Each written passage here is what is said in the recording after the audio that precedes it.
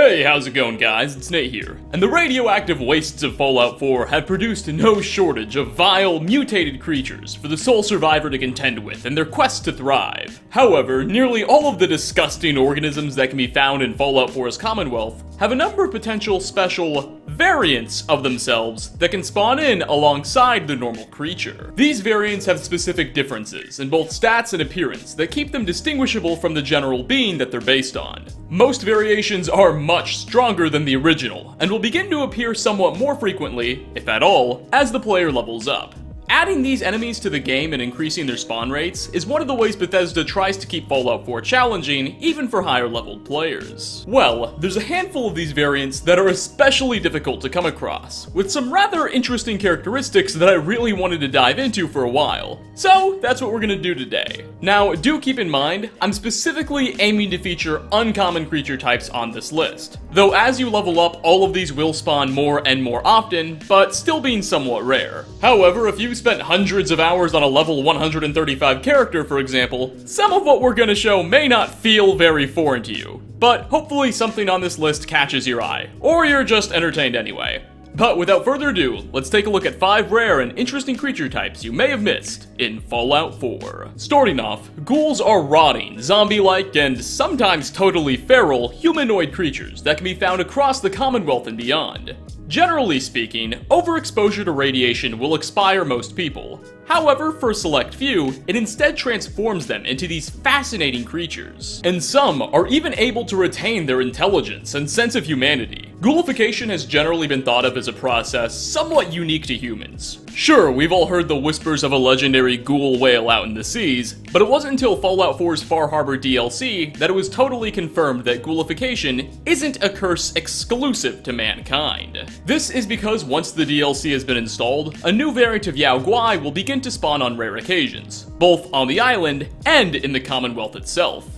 The Yao Guai Ghoul is a new foe, significantly less common than a normal Yao Guai, and with a somehow even more repulsive appearance. These beasts pose a slightly greater threat than their generic counterparts, with 75 more HP and an additional 10 points of both damage and energy resistance also dealing 15 more points of damage per attack. Though it should be noted, Yao Guai ghouls have less than one third the perception, meaning they should be easier to sneak past and shake off when you're trying to get away from one. The Yao Guai Ghoul isn't even the most powerful version of that creature. That would be the Dusky Yao Guai. However, I'm just really fascinated with the ghoul's appearance. It's nice to know that mankind isn't alone when it comes to becoming zombies. Next on our list, Rad Scorpions are frustrating foes as is. Fast movement coupled with an ability to literally go underground in one place and pop out another instantly makes these arachnids especially hard to hit, and even harder to get away from. Thank god they only have 250 HP at base, right? Right? Well, allow me to introduce you to a truly aggravating opponent. Meet the Rad Scorpion Death Skull. These creepy crawlies have a small chance to begin spawning once the sole survivor has reached level 64, and they'll continue to level with you afterwards. Earning their name from the intimidating bone-like design on what could be considered their face, Death Skulls are the real deal. With 1,150 base HP, one of these has more health than a super mutant behemoth and also packs more than 4 times the base melee and poison damage, as well as energy resistance as normal scorpions. Altogether, these skull-faced killers are a true force to be reckoned with when you're roaming the Commonwealth. Coming at number 3, Gulpers are massive, mutated, salamander-like creatures native to Far Harbor. Their movement style is somewhat reminiscent of Deathclaws in the way they violently rush the player and dodge potential attacks. On top of that, they can even be seen waiting in trees to ambush potential prey. It's truly nightmare fuel. Thank God they don't get any bigger- oh, who am I kidding? Allow me to introduce you to the Gulper Devourer. These puppies are somewhere between 30 and 50% larger than their normal, I use that word loosely, we are talking about mutated fish, Gulper cousins. This size also translates to a power disparity as well, as Gulper Devourers have about two times the everything in comparison as well, definitely making them a beast to be avoided at all costs. The size increase is especially significant, as the Gulper Devourer is the only creature variant that is actually larger than the original. Thankfully, as a rule, gulpers generally have poor damage resistance due to their lack of a firm exoskeleton. And with nearly two times it, the Devourer still remains especially vulnerable to miniguns and really anything else with a high rate of fire. And a bigger enemy is simply all the easier to hit. For fourth spot, Radrats are just one of many types of disgusting, vile creatures that can be found lurking across the old Nuka World amusement park. No doubt the descendants of a previous infestation, these beings have managed to thrive in an environment rich with old sugary drinks and other sticky things to eat. These creatures, however, are even more vicious than the rodents we know in our current world. Radiation has turned them into extremely aggressive and uglier pests that can actually pack quite the punch in large groups. But amongst these four-legged foes, the special Plagued Rad Rat is certainly the most intriguing. They'll start spawning in at level 64, and have 3 times the HP and damage resistance as typical rats, with notably 4 times the energy resistance. Their appearance is especially repulsive, showing signs of infections and open wounds, but most notably, they'll glow green in the dark. It seems radiation has mutated these beings into bioluminescence, so, if you're ever wandering Nuka World at 3 in the morning and see a number of green orbs rushing towards you in the distance, don't be too surprised. Now, before we wrap this list up, we have not one, but two honorable mentions that I'd like to share both actually being types of Deathclaws. The first is extremely rare. Dare I say, it's impossible to find. No, really, it, it is impossible to find, because Bethesda never actually implemented it into the game.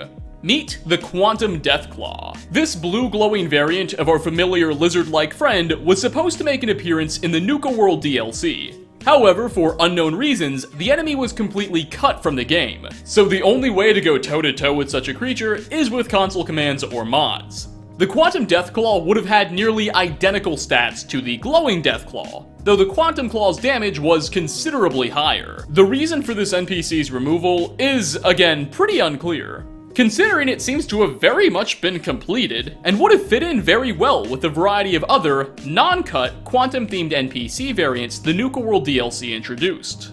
But whatever the case, Quantum Deathclaws will certainly be missed. Our next honorable mention goes to the Chameleon Deathclaw. This indefinitely colored organism did indeed make the cut into the final game, and can be found on rare occasions once the player has surpassed level 81. What makes the Chameleon Deathclaw so unique, on top of their insane stats, is their ability to rapidly change colors while in combat, and even become invisible for short periods of time. What colors it decides to change to and how quickly it does so are factors dependent on the chameleon's movements in battle and the surrounding area. Sometimes they'll flicker red, on other occasions they'll maintain a beautiful green skin tone for seconds at a time.